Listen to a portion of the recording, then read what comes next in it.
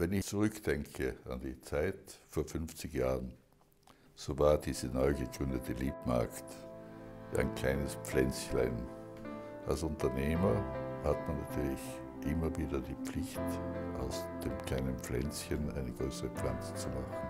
Und das, äh, wenn ich zurückdenke, ist uns wirklich gelungen.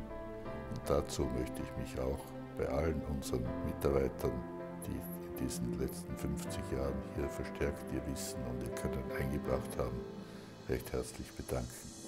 Es sollte ursprünglich hier in Weiz dies ein Lager werden für die Eisenbiegerei und ein Lager für die Baumaschinen. Während des Baus stellten wir aber das System um und haben wir in einer Fläche von 300 Quadratmeter zweigeschossig einen Mini-Baumarkt errichtet. In dem haben wir damals als erster Baumarktbetreiber eine entsprechend große Haushaltsabteilung inkludiert. Wir haben einen Gartenmarkt errichtet und haben eine Baumarktgruppe gegründet, die sogenannte Bautreff. Und so kam ich auf die Idee, einen Partner in Deutschland zu suchen.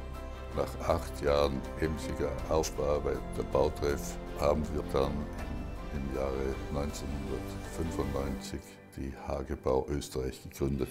Das war damals wirklich ein einprägsames und zukunftsweisendes Projekt auch für unsere Firma Liebmarkt. Kooperation durch Gemeinschaft ist ein Fundament für alle gemeinsam zur Weiterentwicklung unserer Geschäftsflächen. Nach Möglichkeit bieten wir unseren Kunden alles rund ums Bauen, Wohnen und der Freizeit aus einer Hand an. Unsere Liebmärkte sind Beratungsmärkte.